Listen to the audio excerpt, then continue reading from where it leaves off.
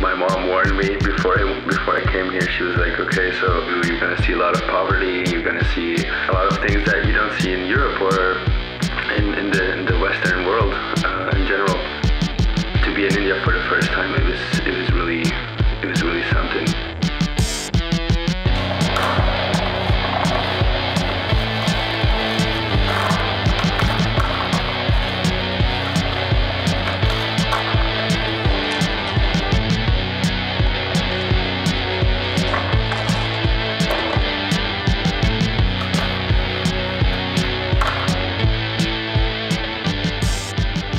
surrounded by people who've never seen you, who've never seen you ride a skateboard, who've never seen a skateboard.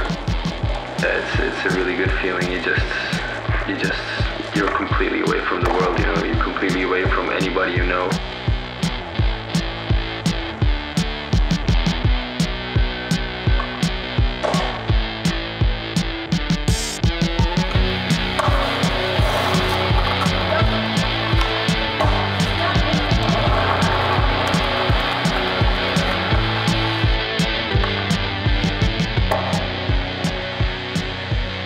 We met two kids, the sweetest kids ever.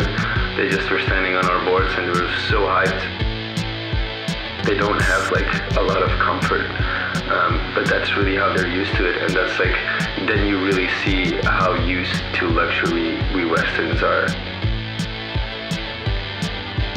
I think every skater has a solitude over him, and to be there and skating those ditches with all the great nature surrounding you, it definitely like makes you feel disconnected.